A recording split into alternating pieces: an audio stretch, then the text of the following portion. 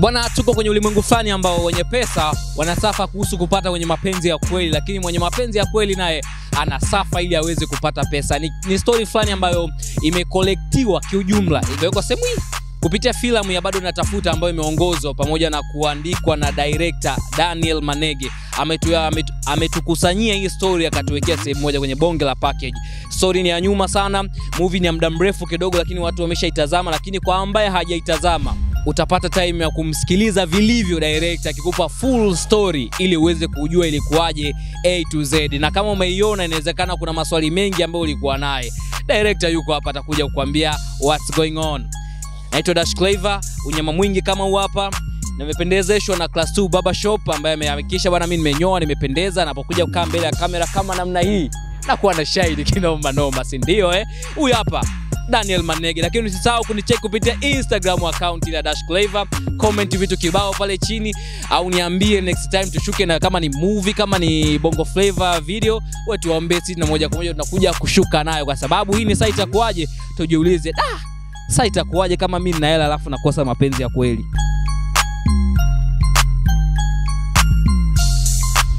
Yaani amini tu kilichotokea hivi, usione kama picha hivi, kubaliana na macho yako hichi unachokiona hapo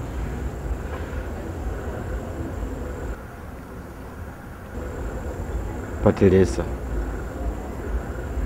moyo wangu ulikawa mbali, lakini unaendelea kutambua uwepo wa thamani ya mapenzi yangu kwako. Moyo huu huu uliweze kugusa wa kwako wakati hauna kitu,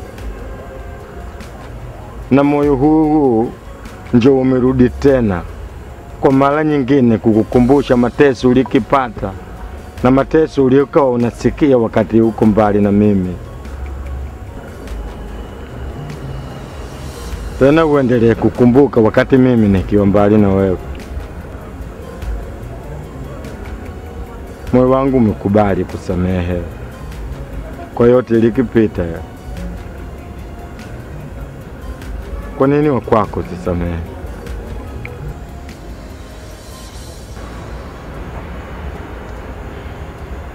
Sawa, nilikwambia siku moja baba yako anaweza kurudi. Mimi ndio baba yako. Sasa mbona ulinificha? Mimi siku zote hivi najua wewe ni anko rafiki. Hivi ningekwambia mimi baba yako bila mama yako kuwa shahidi wala kuwepo wakati nakwambia, ungeweza kunamini?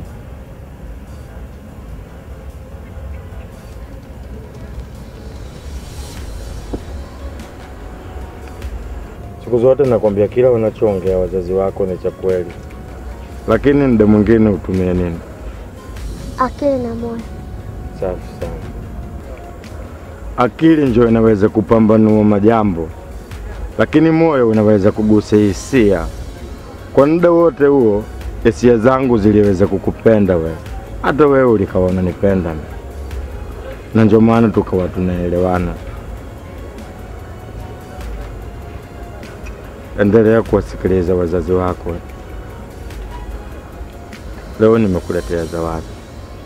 Utakuja nyumbani? Nilikwambia kama mama yako ataruhusu nije nyumbani, takuja.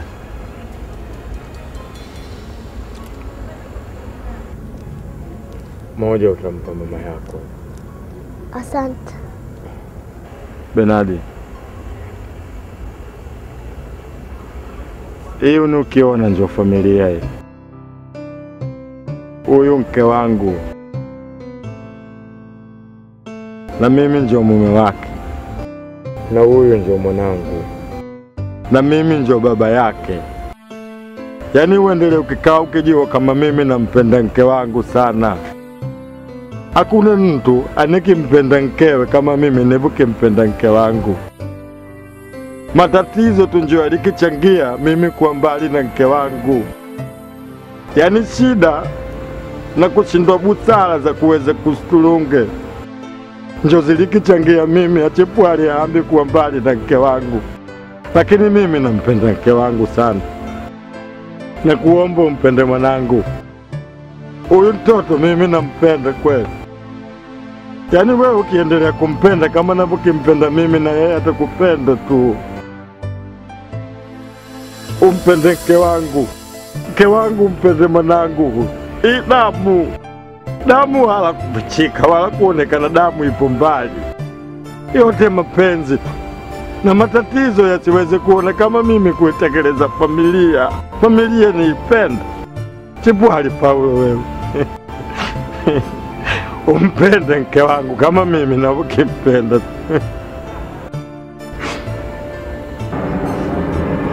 Kalo mwanangu, mimi njo baba yako, na nkumbusha tu Anko Benadi endelee kukupenda kama mimi nivukupenda. Patilisa mke wangu.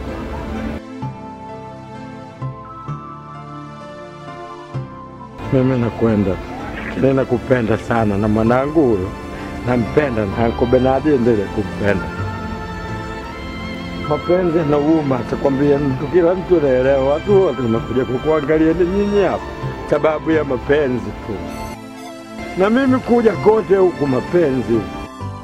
Nakupenda sana mke wangu, hela na matatizo njoo likinitenganisha. Asante sana. Actually bado natafuta ni moja kati ya stori ambazo zilikuwa na mafanikio sana kwenye karia yangu ya uandishi na uh, uproducer kwenye filamu. Ukweli kwamba ile ni stori ambayo mi mwenyewe personally ilikuwa imenigusa kwa sababu ukiangalia series ya uh, filamu zangu nyingi naongeleaga nafasi ya baba kwenye familia. Mara nyingi sana tumekuwa na hiyo challenge ya kwamba familia nyingi zinalelewa na mama na baba anakuwa ni mtu ambaye anakuwa kama kivuli. hasa, bado natafuta ilijaribu kuonyesha nafasi ya baba, na sometimes waga baba analaumiwa tokuwepo kwenye familia, ila ni kutokana na mazingira ambayo yanakuwa yamemzunguka mwanaume. Kwa hiyo nilijaribu kuonyesha katika upande huo wa watu kuto, kuto kondemu au kulaumu sana upande wa baba kutokuwepo kwenye familia, lakini vile vile upande wa baba kuonyesha nia yake ya kuwepo kwenye familia.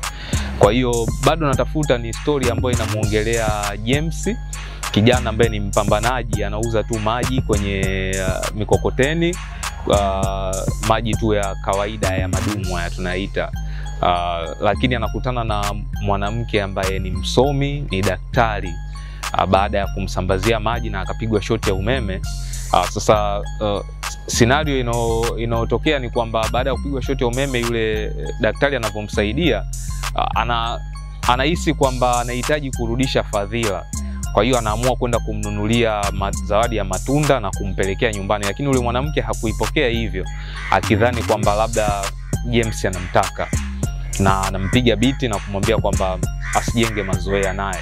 Lakini kama unavyojua maisha yana njia ya kutukutanisha wanadamu. Yule dada anaharibikiwa na gari na kwenda kutafuta fundi wa gari lake, na fundi ambaye anakutanishwa naye ndo kijana yule yule ambaye alimdharau akijua kwamba ni muuza maji tu na kumwambia kwamba hahitaji kuwa na mazoea naye. Kwa actually inamfanya daktari ajifikirie mara mbili kwenye kile alichokifanya na kujaribu kutengeneza ukaribu na yule uh, kijana fundi ambaye ni James uh, ili angalau kuweza aweze kupata msamaha kwa kile ambacho alikifanya. Kwa hiyo ukaribu wao unaanza kujengeka katika mazingira hayo, lakini ni watu wa klasi mbili tofauti, yani ni tajiri na maskini na ukaribu wao unavyoanza kujengeka unajenga kufikia kwenye kupendana na kuanza mahusiano, na wanavyoanza mahusiano, yule daktari anakuja kujigundua kwamba ana mimba ya James, na hapo ndo ugumu unapoanza. Uh, mwanamke anapokuwa mjamzito anaanza kuwaza sasa, huyu uh, mwanaume niliyokuwa naye ataweza kutimiza majukumu ambayo anayataka na kama unavyojua James kwake yupo tayari kupambana kwa sababu ni kijana jasiri na mpambanaji, lakini kwa mwanamke kwake inakuwa tofauti kwamba huyu mm, mtu je, ni sahihi kwenye maisha yangu? Na ile inampelekea James kuweza kutafakari upya maisha yake kwamba maisha yao yataendelea mpaka lini, yeye kudharaulika na kuonekana kwamba hana uwezo wa kuweza kuitunza familia yake. Kwa James anafanya maamuzi magumu ya kuamua kuiacha familia yake na kwenda kutafuta, na ndio concept ya bado natafuta ilipo ilipoanzia. Kwao ni baba ambaye anaamua kwenda kutafuta uh, ili arudi ku, kuitunza familia yake kama baba anayeheshimika. Kwao ni stori fulani ambayo ina relate na watu wengi sana katika jamii yetu ambao unakuta wanatamani kuwa katika sehemu kama baba, kuwa katika sehemu ya kuitunza na kuilea familia yake vile anavyopenda, lakini kutokana na mazingira ya maisha anayopitia unakuta anashindwa kuweza kumudu yale majukumu. Kwa inabidi uh, sasa kwangu mimi ilikopo ni fundisho kwamba inabidi mwanaume uchukue hatua ya ziada, uweze kwenda kupambana vyovyote iwezekanavyo ili uweze kuja kuifanya familia yako ishi maisha bora. Kwa hiyo ndo concept nzima ya bado natafuta. Kama unavyojua kwenye maisha yetu ya kawaida, pale ambapo unakuwa umeiacha familia yako na kusema kwamba unaenda kutafuta, na uwaga shetani naye achezi mbali.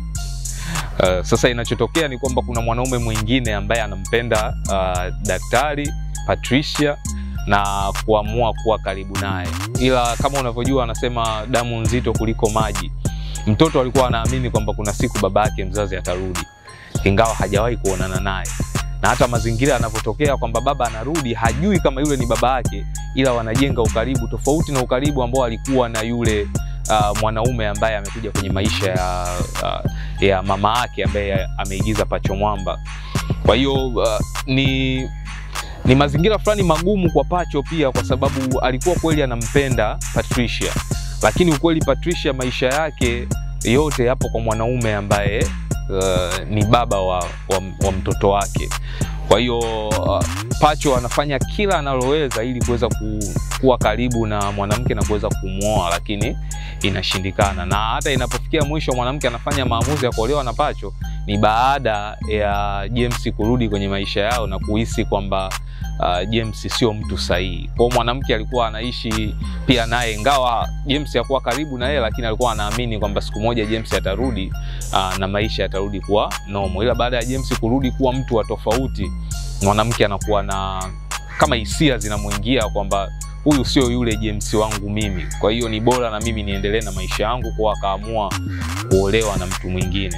Lakini siku ambayo ni ya engagement, kabla ya kuolewa, ndio James anaamua kwamba hana kitu cha kupoteza tena, kama familia alishaipoteza na akaenda kutafuta, sasa ameirudia. Uh, ni vema atoe uh, la moyoni kuelezea kwamba hana kitu kingine tena uh, ambacho kimebaki kwenye maisha yake zaidi ya familia yake. Kwa hiyo anaamua kumkabidhi Pacho kwamba aipende familia yake kama yeye jinsi alivyoipenda, na hii ndio sehemu ambapo iliwagusa watu wengi sana kwenye story, kwa sababu hatukutegemea uh, jamaa angeweza ku, kukubali ku, kushindwa katika moment ile. Tulijua kwamba atapambana kama vile alivyoenda kupambana kutafuta kwa ajili ya familia yake, basi angekuja kuvimba na kuonyesha kwamba sasa na nguvu ya pesa kuirudisha familia yake, lakini aliamua kuonyesha kwamba upendo ndio kila kitu.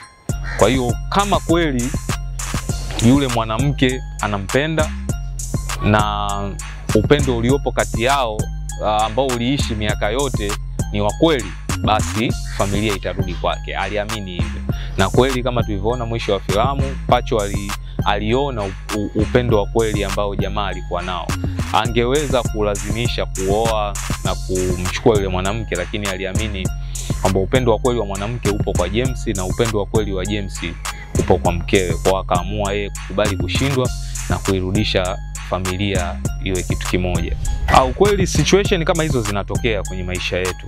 Na kitu cha kwanza, falsafa ambayo mimi ningeweza kumshauri mtu yoyote ni kwamba Uh, kama unakipenda kitu lazima ukipambanie. Hiyo ndio kitu kitu kikubwa sana ambacho kwenye maisha na hata kwenye bado natafuta ni falsafa ambayo uh, naijenga. Unajua, wanaume wengi tumekuwa wepesi sana ku, kuruhusu wale tunaowapenda uh, wawe mbali na sisi, au tumekuwa wepesi sana kuachia kwenye mapambano kuwapambania wale tunawapenda. Kwa bado natafuta inaonyesha nguvu ya upendo wa dhati, kwamba kwa namna yoyote lazima upambane kuhakikisha kwamba kile unachokipenda inakuwa katika upande wako, lakini bado vile vile sio kupambana katika njia ya kwamba lazima ukimiliki, ila ni kukionyesha thamani uliokuwa nayo, na thamani ipo kwenye upendo wa dhati. Upendo wa dhati sio lazima wewe umiliki.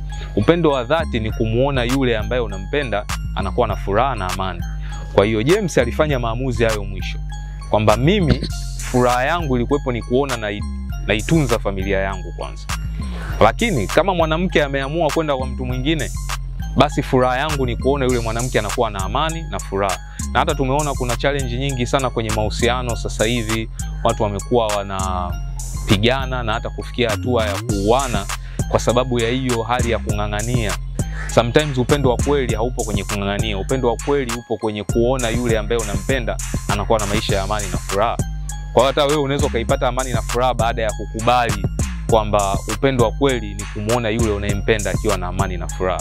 Kwa hiyo ndo falsafa behind bado natafuta, na ndo kitu ambacho naweza nikawashauri watu wote ambao wanaweza wakakutana na situation ambayo walikutana nayo James.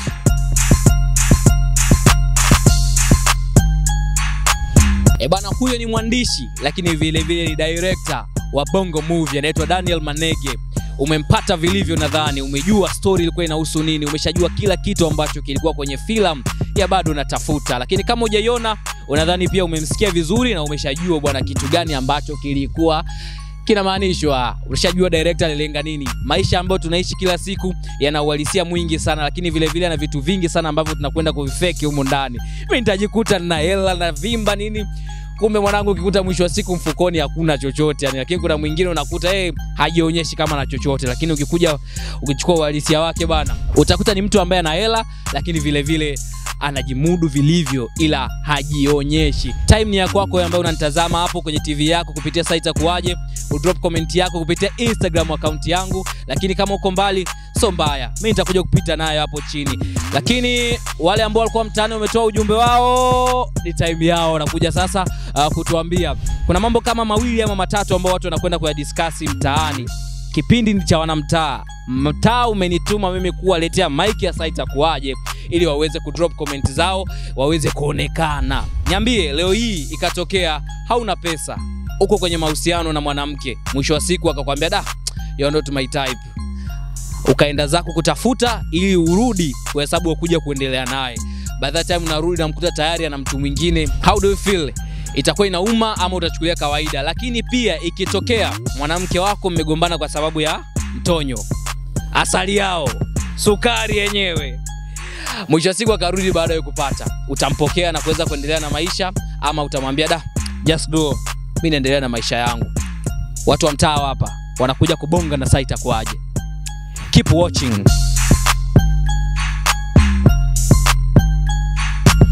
Ah, kwanza kufikia hatua ya kusema kwamba mwanamke ameniacha kisa mapato, kipato changu, inamaanisha kwamba cha kwanza huyo hawezi kunivumilia, umenielewa? Kwa hiyo nahisi labda pengine uh, anaweza akaja kunipiga tukio jingine kubwa tofauti na. Oh, ndio tu kumwacha akaenda zake. Ah, nahisi huyo atakuwa hajarudi kwa mapenzi, bali atakuwa amerudishwa na pesa zangu au mafanikio yangu. Asilimia kubwa mwenye, mwenye pesa hana mapenzi ila ambaye hana pesa ndo ana mapenzi. Kwa hiyo sasa tuseme kwamba mimi nakuwa na mapenzi ila sina pesa. Kwa hiyo sasa ndo, ndo kitu pekee ambacho kilifanya akaondoka. Sasa baada ya kupata pesa sasa anarudi tena kwa sababu ya pesa. Nasoma pesa. thibitishie kauli yako ya kusema kwamba mwenye pesa na mwenye pesa ana mapenzi na yeye mwenye, mwenye, mwenye mapenzi hana pesa alafu yani mwenye mwenye ambaye ambaye ambaye mtu ambaye mtu ambaye anapenda sana mara nyingi wana hela alafu mwenye kipato wapendi anatamani mwenye pesa hana mapenzi na ambaye hana pesa ndo ana mapenzi. Uh, kiujumla akisha akishafikiria kuondoka ba kwa sababu ya maisha yangu kuwa magumu, anaondoka anaondoka, obvious, kumzuia, anaondoka. Lakini akikaa huko akijifikiria kwamba huyu mme wangu ambao nilikuwa naye maisha kisa yako super, atakurudi, uh, kiujumla nitajifikiria kidogo. E, nitajifikiria na siwezi kuchukua maamuzi ya, ya haraka sana nitajifikiria. Ah, ah, kwa kweli niseme ah, madam am, am, amerudi. Mimi la, kwa, kwa, fikira, kwa fikira zangu mimi na kutokana na jinsi nilivyo mimi. Ah, nitamchukulia tu, nitamsamehe. Akikuta tayari una mtu sasa. Ah, kama hapo nishakuwa na mtu, hiyo ni issue nyingine bro. unafanya mchepuko. Ah, labda yani mfanye mchepuko inakuwa inakuwa ngumu hiyo. ugumu unakuwa wapi kati tayari anakujua kwamba na tabia zako anakujua na wewe unamjua Sasa unajua una, una, unajua kwa ali, aliondoka na amerudi. Sasa mimi nishakuwa na mtu sasa, uwezekano kusema kwa nimuondoe yule ambao nishakuwa naye kwa kweli hapo itakuwa ngumu kidogo, itakuwa ngumu kidogo. Asa, kama alishindwa kunivumilia kipindi kile ambacho sina, sina kitu, basi wewe uenda ilikuwa sio sahihi kwangu.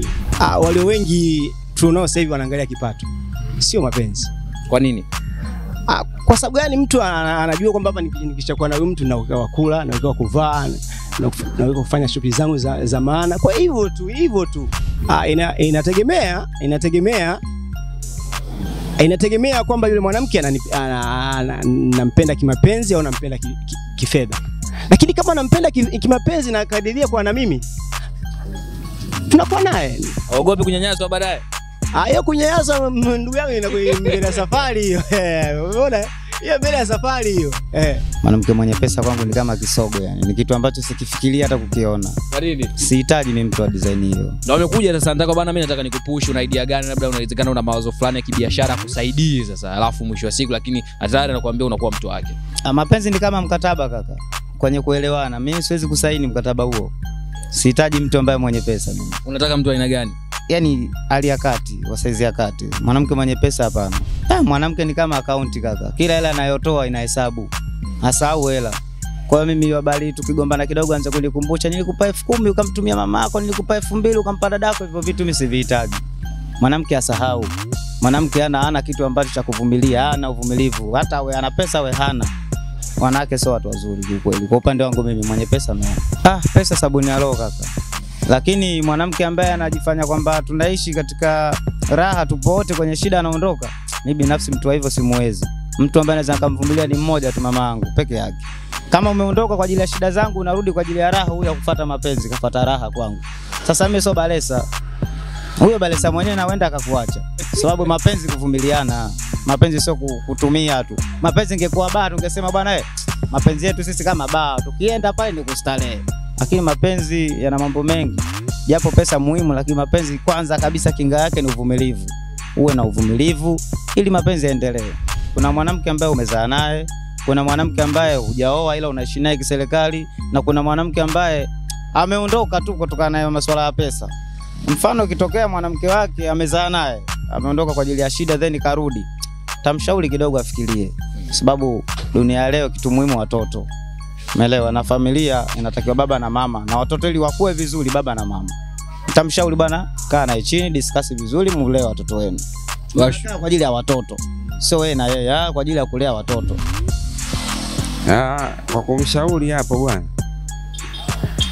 mi kwa fupi asirudiane naye, kwa sababu najua unapokuwa uko vizuri ukasema mtafute mwenzio ukae naye, alafu mwenzio amekuja tu kimaslahi, ina maana kwamba wewe hajakupenda, kwa sababu mtu aliyokupenda na kukuta uko kwenye maisha mazuri, hata kama ukishuka basi utakuwa naye, unanga- anakung'ang'ania tu, lakini ukiona kwamba amekuja tu ile basi vihela vimepungua ndani au maisha ndo ameshuka alafu kaondoka, huyo ni gaidi, anaweza kakuua.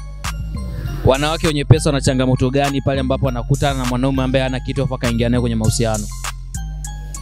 Changamoto ziko nyingi, hususani unaweza ukawa na mwanamke mwenye pesa, sawa, wewe ndio kapuku kama mwenzangu na mimi, ina maana kwamba na hapo wewe ujua upo peke yako, sababu wana vitu kama viwili au vitatu. Mwanamke anaweza kama amepata mtu yule ambaye anaweza kamwendo ndani, lakini ana kitu, si ndio? Alafu akapata mtu ambaye mtoaji pesa kumwezesha yeye kuwa juu, akapata tena mtu mwingine tusio labda ni mtanasha- mtanashati, yani kwamba yani kwamba yuko safi.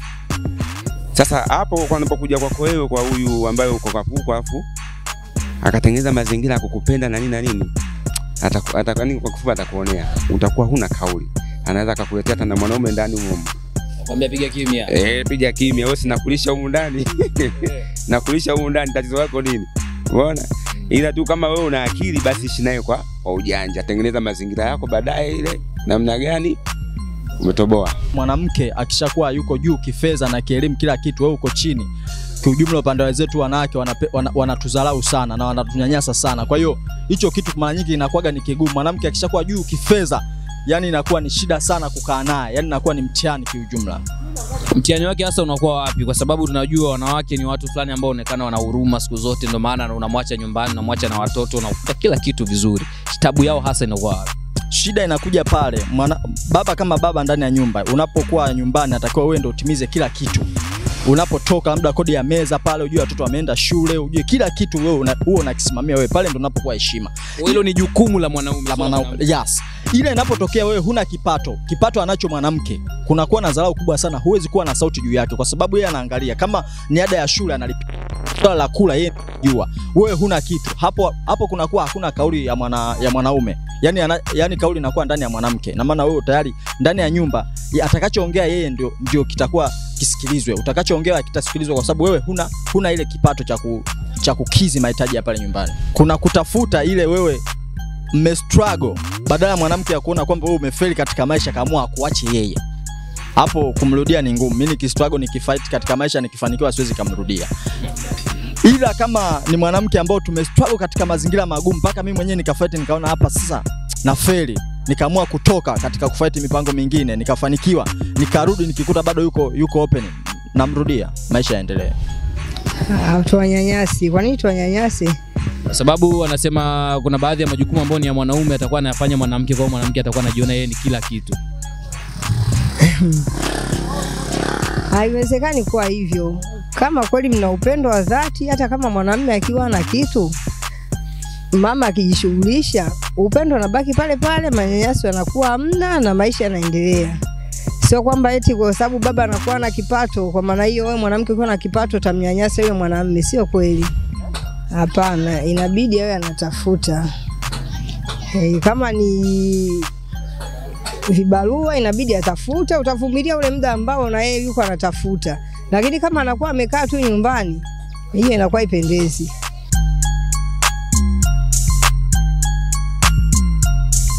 Bana, ni wadau mbalimbali ambao walikuwa wanatoa maoni yao kupitia site ya. Wameshatuambia mambo mbalimbali. Inawezekana wewe ambao sasa hivi kwenye TV yako unataka kutoa maoni yako vile vile, drop comment yako hapo chini kwenye akaunti yangu ya Dash Clever Instagram, Twitter natumia Dash underscore 16 kote huko unapatikana. Drop comment yako hapo, ili mimi mwenyewe niweze kujua kwamba okay, kipindi kinachofuata nakuja kudrop movie gani ama nakuja kudrop eh, video gani kali ambayo ndani yake itakuwa ina story kali sana. That's Clever the Believer on Instagram, lakini usisahau nyama mwingi kama wapo kichwani. Class 2 Baba Shop amehusika kunitengeneza, lakini always ukiniona nimesimama mbele ya kamera hivi.